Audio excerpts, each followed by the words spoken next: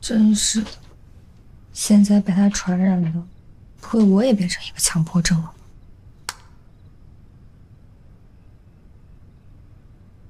你是在说我吗？你怎么走了没有声音啊？像个鬼一样。我看是你心里有鬼吧？我心里哪有什么鬼啊？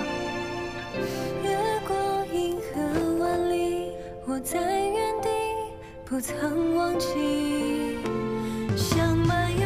要，万一被杜叔叔看见怎么办？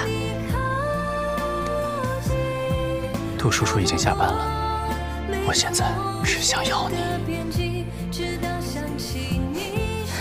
好吧，你说的没错，我心里果然有鬼，有个大色鬼。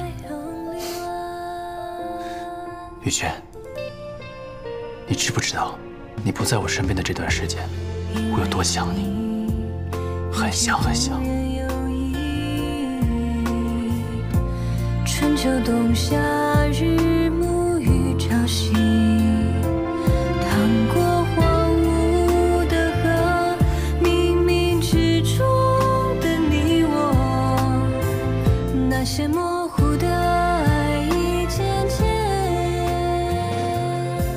顾先生早安。我在等你吃早餐。